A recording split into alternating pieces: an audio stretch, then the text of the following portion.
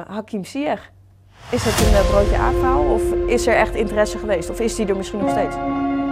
Hij is een fantastische speler, maar ehm, wij, eh, wij, zullen niet, eh, wij zullen hem niet halen. Vogel is door de kerk. Ajax versterkt zich met Hakim Ziyech. Dinsdag zette de 23-jarige drontenaar zijn handtekening onder een vijfjarig contract in Amsterdam.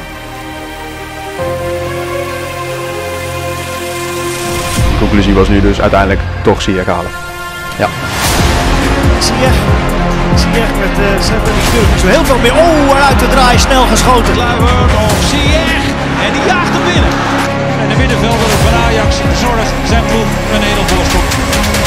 Voordat ik naar het buitenland wil gaan, wil ik eerst kampioen in Nederland worden. Linkerbeen, Ziyech kan het ook zelf. Oh jongen. Uitspelen naar uh, de linker. Ziyech. Oh, mooi gedaan. Linker. Hakim Ziyech. Zo, wat een streep.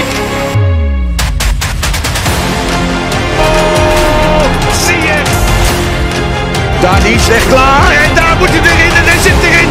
Goal! Ziyech! Nou ja, goed. Het wordt Tadic. Van de Beek de 16 in. Ziyech eerste paal. Dolberg is ook.